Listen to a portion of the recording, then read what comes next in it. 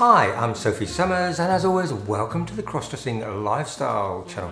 Now today's video has been inspired by a recent comment sent in by Patrick Fennell.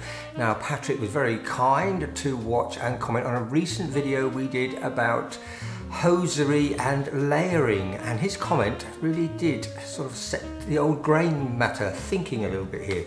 And his comment was you have Julie Newmar's legs which I do appreciate you saying Patrick. And as a side note Julie Newmar has a patent on pantyhose designs. She invented the butt separating style to give pantyhose wearers an apple bottom now that made me think a little bit because I'm probably like most of you familiar with the name Julie Newmar from the very famous drag film which is To Wong Foo. Thank you for everything Julie Newmar.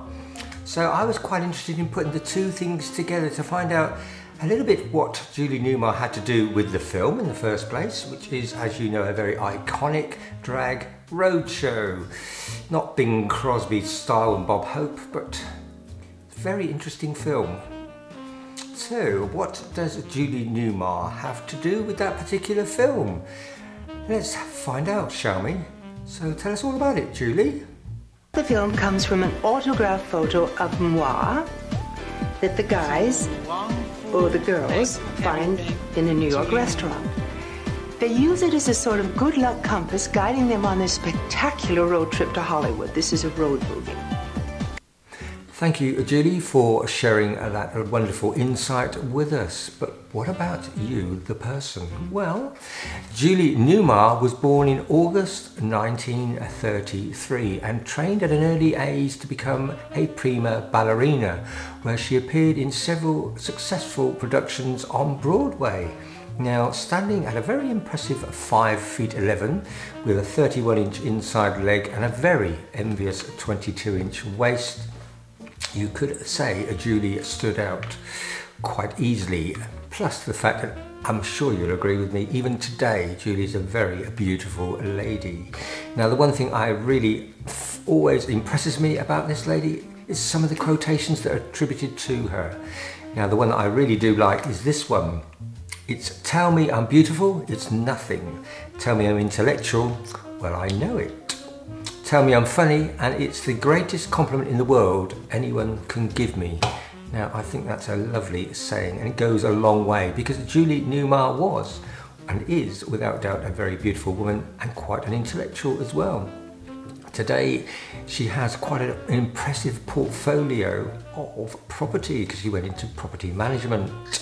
But I think one of the things that she's more famous for at this moment in time is being the original Catwoman in the Batman films, where she starred in the first two series of the old Adam West Batman.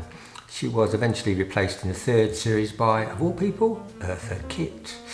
Now, Julie Newmar is attributed with lots of film productions and lots of things, but one thing that maybe not everybody knows about is, as we suggested in the opening of this video, a couple of American patents, and they are on pantyhose and also on brassieres. She is attributed to have an American patent on an almost invisible bra. It's a little bit Marilyn Mon Monroe-esque or modelled on her, but this goes to show what a very talented woman Julie Newmar is, without doubt. Now, it is that fascinating thing about the pantyhose that got me thinking a little bit because basically she turned her talents to many areas and it all came down to necessity because she didn't believe that the standard type of pantyhose available in the 70s was really for her because with those long legs of hers it didn't really show them off to their full advantage so she went about designing her own type of pantyhose, which today is, I suppose they, they were marketed as Nudemar pantyhose. So if you see any of those about, it's well worth grabbing a hold of a pair where they're still available.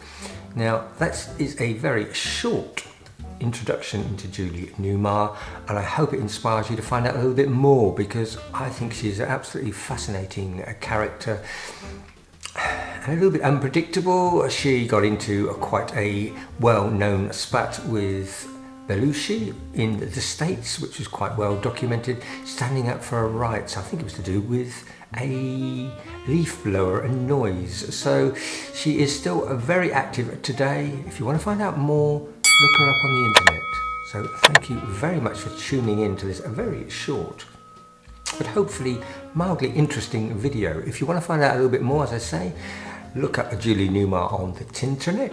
And all that really remains for me to say is, as always, thank you very much for watching.